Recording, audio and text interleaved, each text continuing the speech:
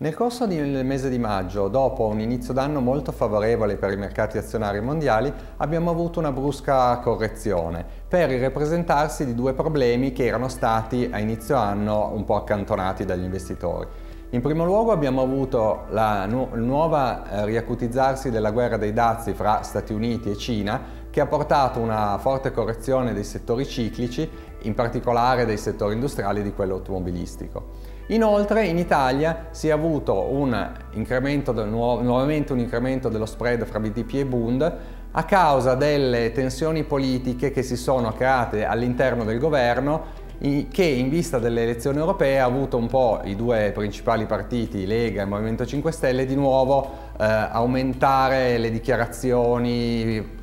per certi versi favorevoli alla spesa con nuove dichiarazioni di possibilità di sforamento del 3% di deficit. Tutte cose che hanno aumentato eh, l'incertezza, che hanno riportato l'incertezza degli investitori sul mercato azionario italiano. Questo fatto ha impattato in modo particolare il settore finanziario all'interno del nostro mercato azionario. Nel corso di queste settimane abbiamo avuto inoltre eh, la pubblicazione dei risultati del primo trimestre per eh, ormai quasi tutte le aziende del nostro listino. In questo contesto possiamo dire che per quanto riguarda il settore bancario i risultati, mentre sono stati sempre positivi dal lato del contenimento dei costi e dal lato della riduzione delle sofferenze, hanno eh, segnalato una battuta d'arresto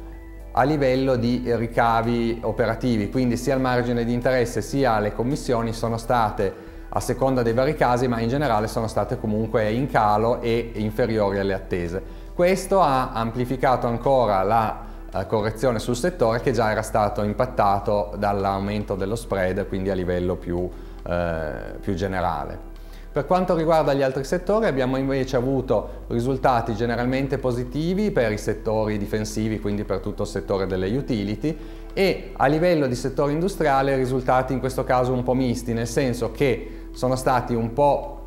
eh,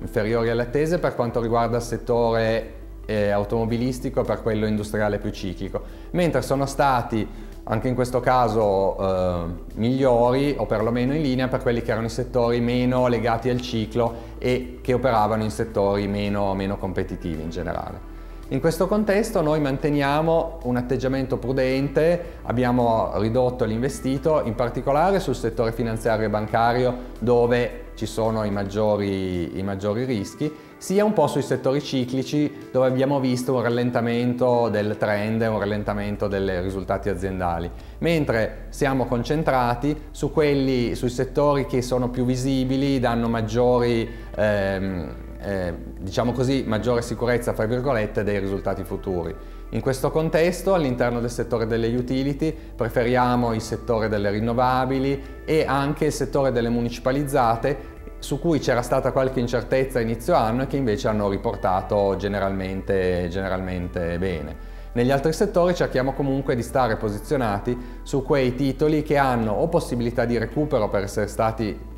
eccessivamente penalizzati dal mercato o che comunque, come dicevamo in precedenza, hanno, mostrano una maggiore stabilità dei ricavi anche in contesti macroeconomici sia generali che domestici eh, difficili come quello che stiamo nuovamente attraversando.